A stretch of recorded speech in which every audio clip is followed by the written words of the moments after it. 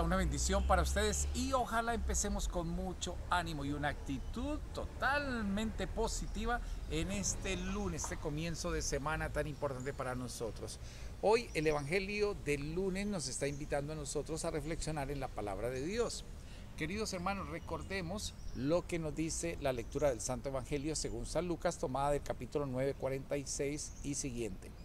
En aquel tiempo los discípulos se pusieron a discutir quién era el más importante.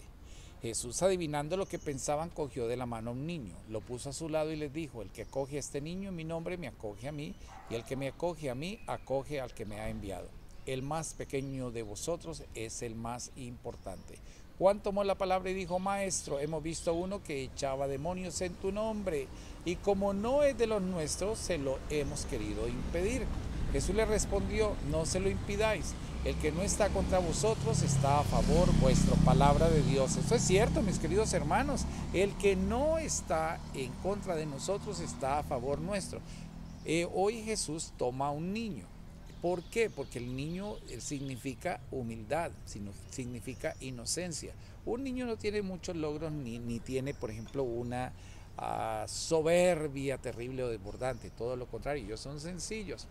Porque aquí discutían los discípulos de que quién era el más importante de todos. Y Jesús no vuelve y nos repite, no es la primera vez, que el que quiera ser más importante de todos, que se haga servidor de todos, que salga adelante, mis queridos hermanos.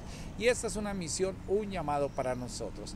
Imagínense que a veces creemos que somos pues la última Coca-Cola del desierto o la, la última fuente del de, de pronto de la, una fuente de agua. Y no es así tenemos nosotros que recordar que la única fuente de, agua es Jesús, es el que nos da a nosotros verdaderamente importancia. Si bebemos de Él, vamos a ser personas totalmente especiales. Así que recuerda, la humildad y seguir adelante, porque estamos bendecidos, encendidos, sanados en victoria. Mega giga bendiciones para todos ustedes. Estaremos orando. Dios los bendiga.